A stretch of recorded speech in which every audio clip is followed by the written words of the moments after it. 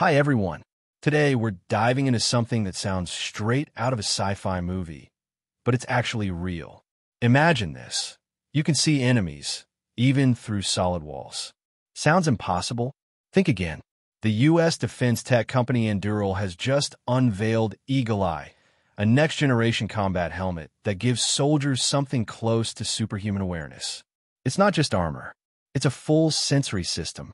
Eagle Eye pulls live data from teammates' body cams, drone feeds, thermal sensors, ground radars, and more, then fuses it all into a single, real-time 3D view right in front of the wearer's eyes. So a soldier doesn't just see what's in front of them. They can spot allies around corners, track enemy movements through walls, and understand the entire battlefield like they're looking at a live map, but in the real world. The tech inside? It builds on years of work from devices like Microsoft HoloLens and Meta's Oculus Quest, originally made for gaming and mixed reality. Now, they're being repurposed for life or death missions. And it's not just for the military.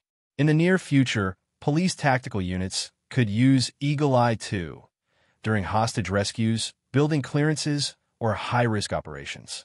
This isn't science fiction. This is augmented reality in real life and it's already here. Thanks for watching. If you're into cutting-edge tech, defense innovation, or the future of human-machine collaboration, don't forget to like, subscribe, and hit the bell so you never miss an update. See you next one.